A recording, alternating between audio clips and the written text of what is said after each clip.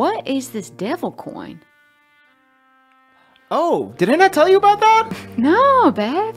Yeah, uh, the devil's son gave that to me. Um, What does it mean? Did he?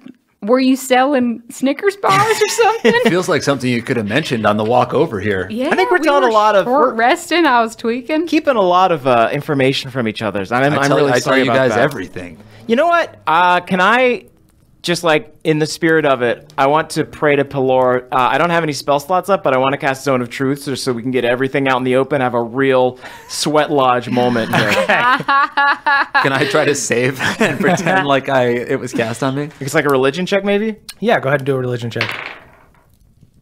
It's going to be mm, uh, 15? Okay. Okay, if we're doing it, then y'all. I don't know if Maribel was my mom or if Mima's my mom.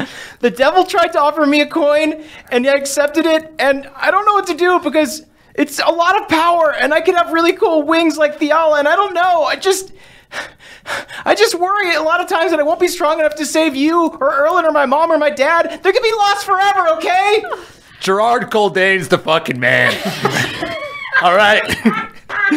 He's the fucking man. He's buff as hell. His beard's thick as shit. He's a better warrior than I'll ever be. Fuck. Akarat's super cut, okay? He's super cut. I mean, what if my mom? What if my real mom's dead? What does it mean if Maribel was my mom instead of of Mima? Join the Dead Moms Club. Is it possible that the devil is my dad? Shit.